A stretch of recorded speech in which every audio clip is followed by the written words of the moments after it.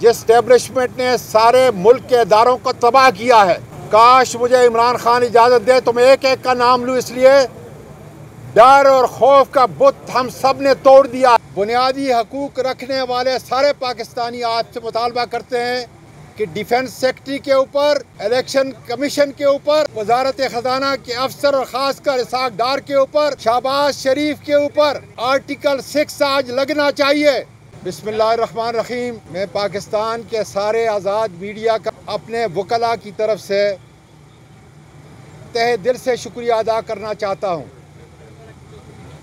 इन्होंने जमहूरीत के लिए, कानून के लिए और आइन के लिए आवाज़ उठाई है। पाकिस्तान के लिए आवाज़ उठाई है। आज हमारा इस सुप्रीम कोर्ट से जो हमारे पुष्ट पे है, सबसे बड़े जज पाकिस्तान के। चीफ जस्टिस ऑफ़ पाकिस्तान से एक ही मुतालबा है कि पाकिस्तान के तलबा, सिविल सोसाइटी के लोग, बुनियादी हकूक रखने वाले सारे पाकिस्तानी आज से मुतालबा करते हैं कि डिफेंस सेक्रेटरी के ऊपर इलेक्शन कमीशन के ऊपर, वजारत ख़जाना के अफसर और ख़ासकर इसाक डार के ऊपर, शहबाज शरीफ के ऊपर आर्टिकल सिक्स आज लगना चाहिए। हम मुतालबा करते हैं कि अदालतों की तोकीर का मसला है।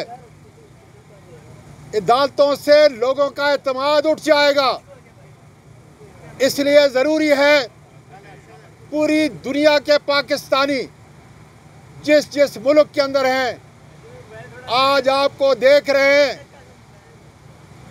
आपकी अजमत को पूरे सुप्रीम कोर्ट के जजेस की अजमत को सलाम करते हैं और कहते हैं, आज का फैसला आर्टिकल सिक्स का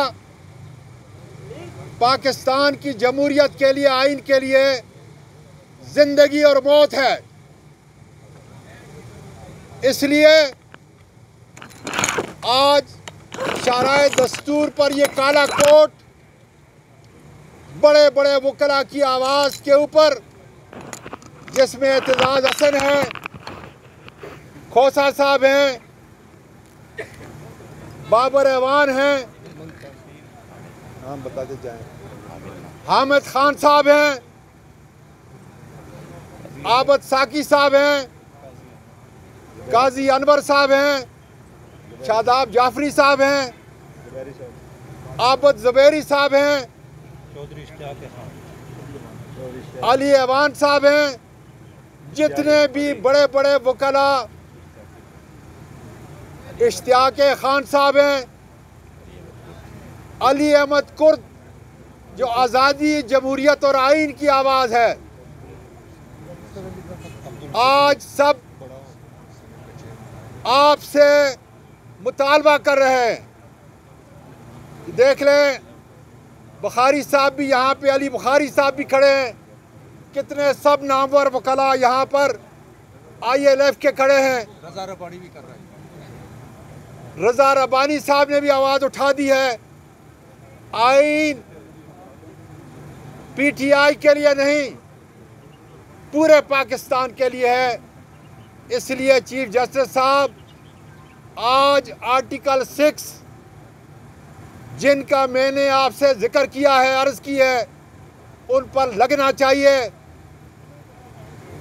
वरना अदालतों के ऊपर, इंसाफ के ऊपर, पाकिस्तान के लोगों का अतमाद टूट जाएगा। मैं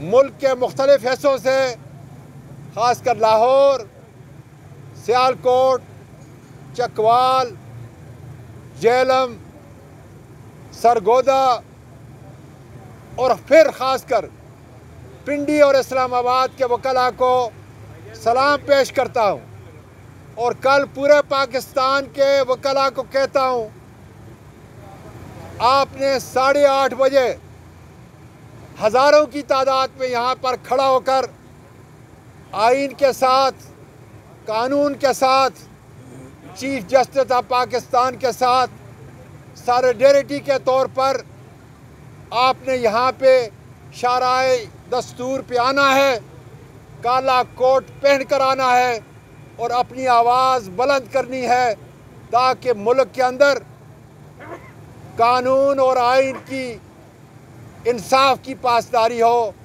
पाकिस्तान पाइंदाबाद।